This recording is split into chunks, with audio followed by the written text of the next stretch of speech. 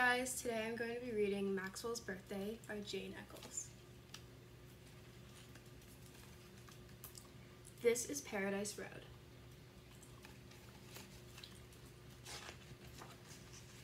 And this is the house where the monsters live.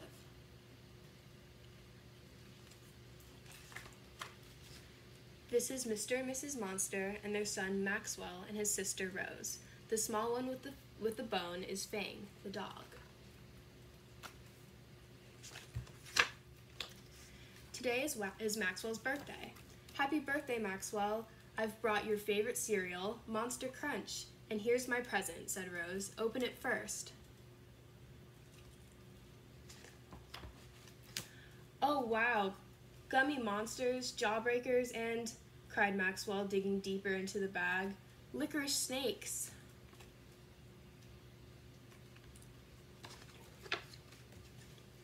Look, Rose, Mom and Dad gave me a walk monster, cried Maxwell, opening the present next to his bed. There's a gigantic present from Aunt Jane, squealed Rose, pointing to a large package under the bed. Uh-oh, she added, remembering how Maxwell nearly blew up the garden shed with the little scientist kit Aunt Jane gave him for Christmas. It's a monster fun kit. I've always wanted a scary-looking costume, exclaimed Max Maxwell.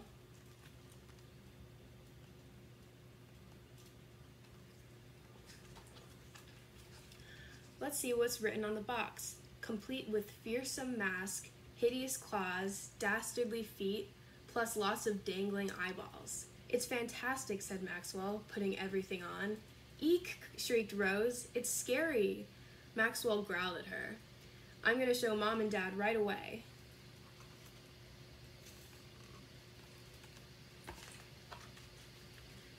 Mrs. Monster was mending a broken vacuum cleaner in the shed. Oh, she cried, nearly falling off her chair.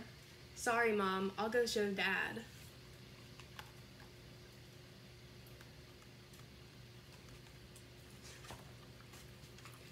Dad, Dad, wait till you see this, shouted Maxwell, running into the kitchen where Mr. Monster was carefully icing blue swirls on a birthday cake.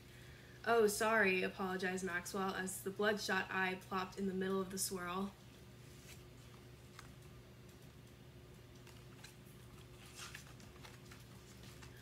I'll just go and show everyone else, said Maxwell.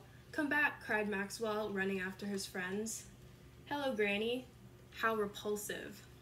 Come out, Fang. I won't hurt you. It's only me.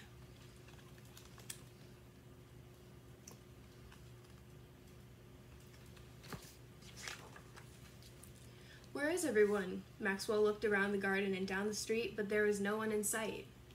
Rose, are you up there? he called as he raced up the stairs. At the top of the stairs, Maxwell saw a monster in the mirror, covered with grotesque lumps, hideous claws, dastardly feet, and lots of dangling eyeballs. Ah! cried Maxwell. He dropped to the floor in shock.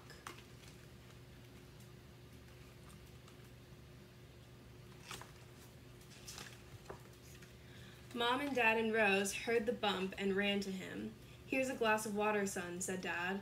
You look much better, Maxwell, said Mom as she took off the mask. I think I prefer him with it on, said Rose.